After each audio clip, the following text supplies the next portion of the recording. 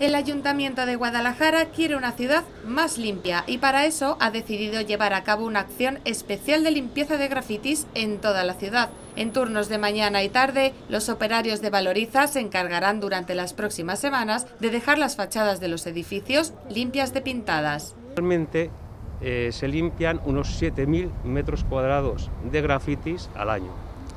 Estos 7.000 metros cuadrados eh, se hacen prácticamente en un 80% en fachada privada. Con esta campaña lo que queremos es llegar solo en un mes a limpiar 3.000 metros cuadrados, es decir, casi la mitad de un año. Para ello, eh, la empresa y el ayuntamiento van a colaborar y en vez de haber un solo equipo a lo largo de la semana, habrá dos equipos que trabajarán de mañana y tarde. Los grafiteros no miran si se trata de edificios públicos o particulares a la hora de destrozar fachadas, por lo que desde la concejalía señalan que puesto que es un trabajo que podría suponer un destrozo en las paredes dependiendo de su material, es necesario hacer una petición expresa. Para limpiar un grafiti en una fachada privada, el ciudadano debe de reclamarlo a través de la página web, a través de la aplicación eh, de Smart Guadalajara.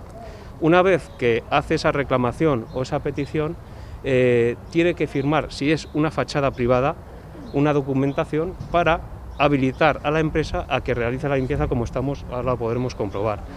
El director de Valoriza explica cómo se ejecutan este tipo de trabajos. Una vez que identifiquemos qué tipo de fachada es, eh, dependiendo de si es una fachada de cemento, una fachada de mármol, etcétera, pues se aplican distintos productos. Eh, normalmente utilizamos o bien un decapante, que es un producto que un poco que, es abrasivo sobre la superficie, entonces hay que eh, bien, ver bien qué, tipo de superficie se aplica, se deja actuar durante 10, 15, 20 minutos y después se aplica agua a presión.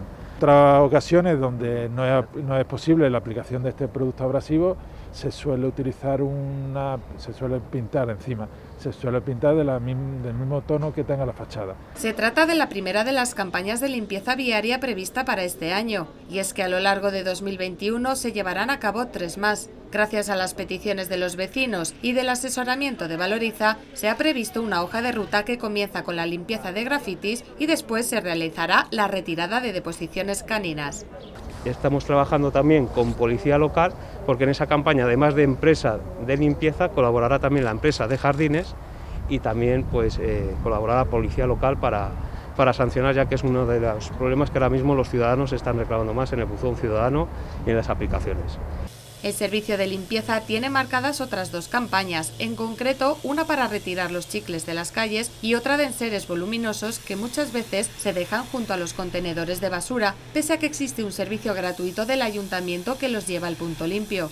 Por lo tanto, la colaboración vecinal es esencial para mantener una ciudad más limpia y quien no esté por la labor deberá pagar por incumplir las ordenanzas. Eh, estamos en, colaboración con Policía Local eh, para intentar eh, controlar mejor, eh, aumentar los medios de policías dedicados a medio ambiente, a controlar la ordenanza de limpieza viaria, estética e higiene urbana. Eh, creo que tenemos que incrementar las sanciones, creo que en esa labor tenemos que trabajar, porque lógicamente, además de pedir la colaboración y el civismo de las personas, yo creo que también las personas incívicas pues, tienen que ser sancionadas. Se van a invertir entre 10 y 15 mil euros en esta primera campaña de limpieza de grafitis que ya ha comenzado.